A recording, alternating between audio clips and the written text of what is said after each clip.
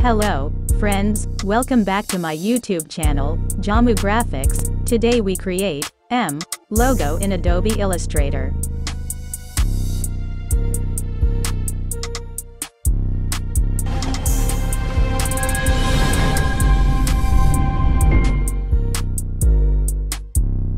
I have already made many video tutorials on logos. I recommend watch my previous video tutorials, a link is given into the description. Let's start, click on the text tool from the tool menu, and type, M.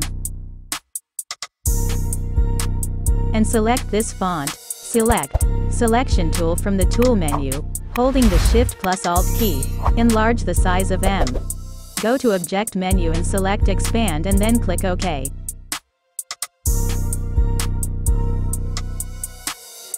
Select the Line Segment tool from the Tool menu, and draw a line.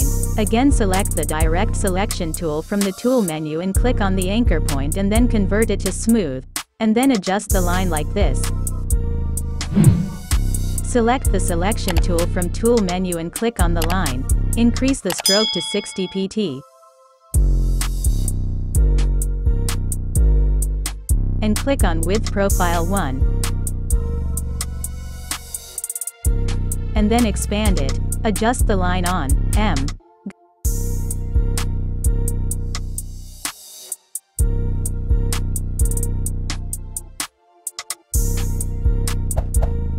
Go to Object menu, select Path and then click on the Offset Path. Set 15 pixels, and then click OK button.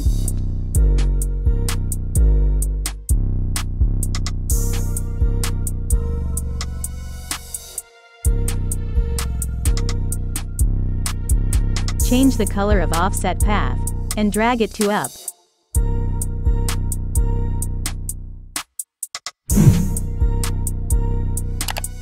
Select all and click on the Shape Builder tool from the Tool menu. Holding the Alt button, and delete the unwanted area.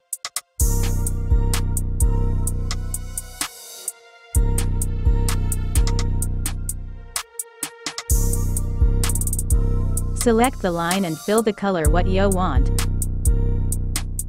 I want to fill gradient color.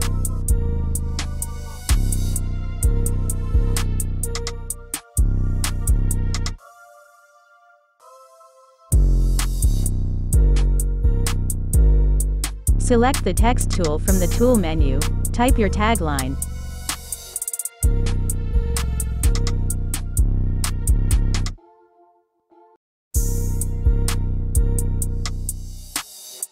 Expand it.